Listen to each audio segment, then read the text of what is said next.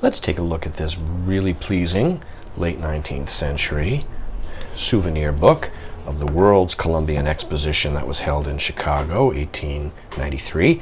We see here the original uh, advertisement tag that's been taped in here.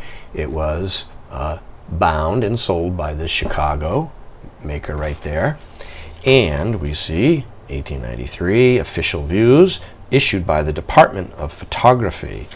And so what distinguishes this is that these views tend to be uh, better than typical. They're very well done, and many of them involve or depict uh, street scenes and people at the fair. That's a great, one of the early Ferris wheel with a little bit of advertising there. I do believe this could well be the first appearance of a Ferris wheel. There's a great one in the Java Village. Each of these uh, photogravure views has uh, its original tissue guard. Wow, that is fantastic, huh? The Turkish Bazaar with a scene like this, you really feel like you were there. And here's the minaret in the Cairo street, like so. And like this. Yes, it's just this profusion of them, like this. There's 115 of them, in fact.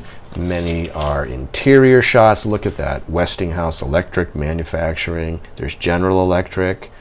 Yeah, very nice. Really, what a beautiful arrangement of architecture. These buildings were all beautifully done just for this exhibition. Fountains. Yeah, yeah. It's really was a very great exposition. And what's we have here, along with this uh, example that is bound in uh, red cloth, like so, we have the exact same work bound here in this half leather. It, the binding is much rougher. There's no spine. It's a rather poor physical example. But what's interesting is it's bound here by this binder in Michigan but it is the exact same work there. And, okay, this here has what appears to be uh, an inscription from Honolulu, Hawaii in 1895. And like so, the, uh, some of the plates here display uh, some foxing and so on. Just goes to show you how the exact same book can survive in two different uh, conditions in two different bindings.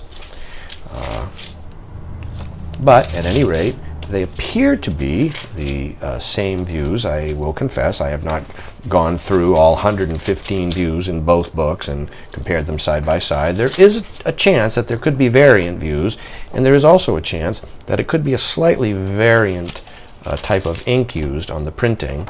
Um, yes, these, these are possibilities. And so uh, this pair of uh, late 19th century souvenir illustrated books is available now online from me, Brian DiMambro.